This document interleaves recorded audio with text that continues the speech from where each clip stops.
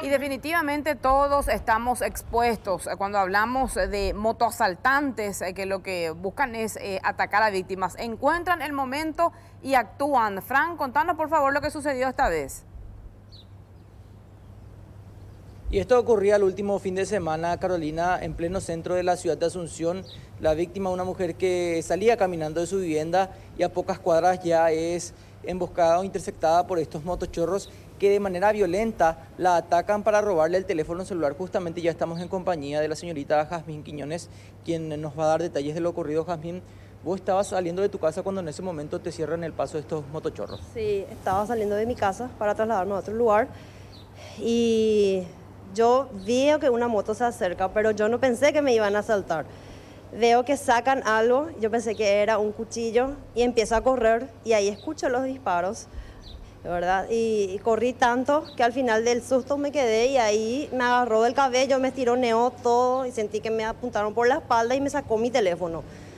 Y yo creo que quisieron quitar la bandolera, pero no pudieron. Entonces, después de forcejeo me empujaron y me dejaron ahí, tirada. ¿Alguien intentó defenderte ahí en ese momento? Eh, cuando estaba, yo no recuerdo, pero sí que un señor se acercó a, la comisaría también a decir que intentó salvar, o intentó atropellar a los motochorros, pero que le estaban apuntando todo el tiempo con el arma y que por eso no pudo hacer nada. ¿El disparo realizaron contra vos o al aire de forma intimidatoria?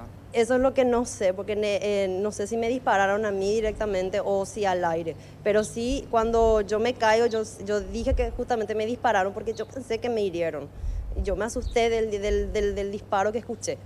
al ver ya la moto, cuando bajaba el acompañante, ¿tuviste ese impulso de correr? ¿Cómo fue eso? Sí, ahí yo vi la moto que se me acercó, sacó algo y empecé a correr.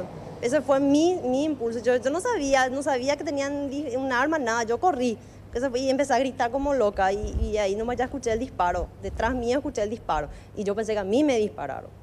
¿Te golpean con el arma también? Eh, por la espalda y me agarran del cabello. Me estironean todo el cabello y después cuando ya sacaron mi teléfono, me estiraron, dame tu celular y me sacó mi teléfono y me empujó. Momento de terror, ¿qué te pasó por la cabeza ahí teniendo en cuenta que pudiste haber recibido algún tipo de, herida con el disparo que realizaste? La verdad que yo pensé que me dispararon, que me hirieron, porque yo, yo lo único que recuerdo que varias personas le dije que me dispararon y que me dispararon y yo pensé que me hirieron pero no, me revisaron todo ahí, no, no me dispararon, o sea, no me hirieron a mí, ¿verdad? ¿Es la primera vez que sos víctima de un... La primera vez. Nunca pasé por esto, nunca en mi vida, nunca. Y eso que soy muy cautelosa, pero nunca me pasó. ¿Tampoco tenías el teléfono en la mano para decir que...? No. Es más, hay un muchacho que camina delante mío, a ponerle a 10 metros de mí, y cuando escuchó el disparo y me vio a mí, corrió más rápido que, que yo, ¿verdad? ¿Del susto también? Del susto, yo supongo que es del susto justamente. ¿Cuántos disparos aproximadamente hicieron? Yo escuché un disparo. Un disparo. Un disparo. Estaban con sin tapabocas aparentemente esas personas, ¿verdad? No, con tapabocas estaban. Con tapabocas. los dos. El que se bajó, el que tenía remera de Paraguay, eh, blanco con rayas rojas, es el que se bajó y, me, y disparó. Bastante joven, una persona bastante Sí, el que manejaba la moto era joven y el, el otro, el que, el que me, me disparó, era un poco más grande. Imagínense, las imágenes realmente son impactantes, Carolina, del momento en que atacan a Jazmín que estaba saliendo caminando de su casa. Se puede ver el momento en que va y lo alcanza este motochorro, la empuja, la echa al suelo y allí le quita el teléfono celular para luego escapar en compañía del cómplice. De milagro, pero de milagro, no hubo heridos en este caso que se daba durante el último fin de semana en el centro de Asunción y ahora se están revisando de vuelta otras cámaras de la zona para identificar a estos delincuentes porque todavía no fueron identificados. No, todavía no.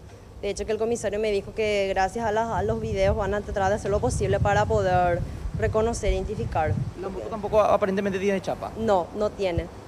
Nada, yo no vi luego la moto, yo vi porque un señor me dijo que era un modelo Kento, que no sé qué, que vio, ¿verdad? en el momento, sí, pero yo, yo no podía hablar ese día. No, no, la verdad que no pude hablar.